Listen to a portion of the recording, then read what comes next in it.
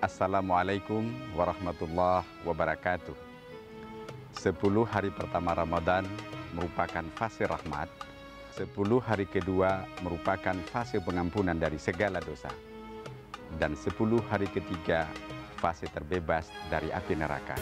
Saya Hejir Sulaiman mengucapkan selamat menunaikan ibadah puasa Ramadan 1440 Hijriah.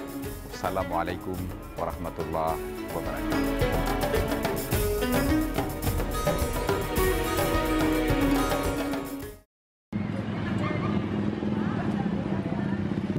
Sudarlun remaja Masjid Al-Waliyah Desa Panggung, Kecamatan Johan Pahlawan, Aceh Barat, tiga hari ini menggalang dana di sejumlah lokasi di Aceh Barat.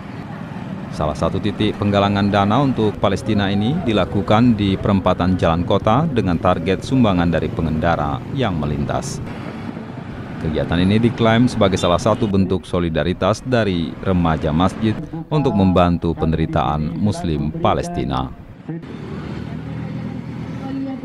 Oleh karena itu kami tergerak hati daripada segenap remaja Masjid Al-Waliyah Kampung Panggung dan begitu juga pemuda untuk melakukan penggalangan dana ini.